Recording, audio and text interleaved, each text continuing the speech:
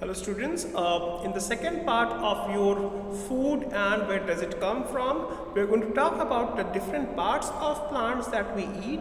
Also we are going to cover the different part of animals and different products that animal provide us in terms of food.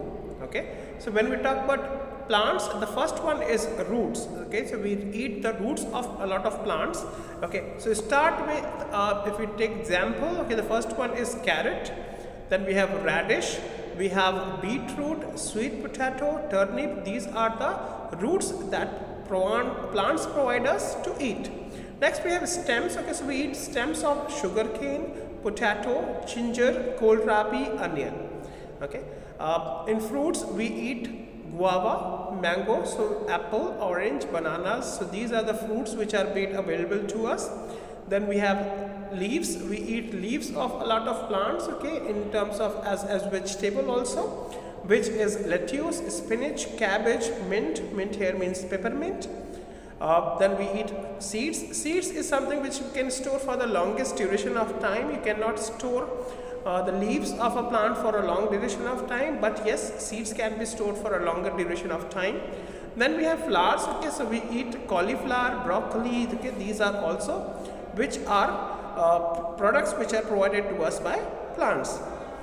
Uh, in terms of um, animals, when we talk about animals, okay, so animals provide us with milk, uh, they provide us with eggs, meat, oil and honey. Okay, so uh, if, it, if we segregate these or we take examples of these, so we know that milk is provided to us by cow, buffalo, goat, yak, sheep, camel. Okay, so these are the mammals which provide us with milk.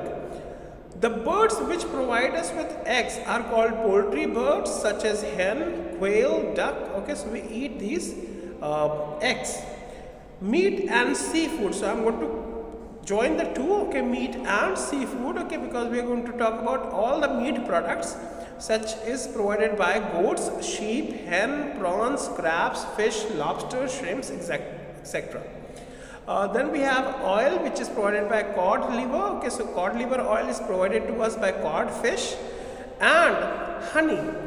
Honey uh, is something that is provided to us by bees. Okay, so these are the products which are made available to us from plants and by the animals.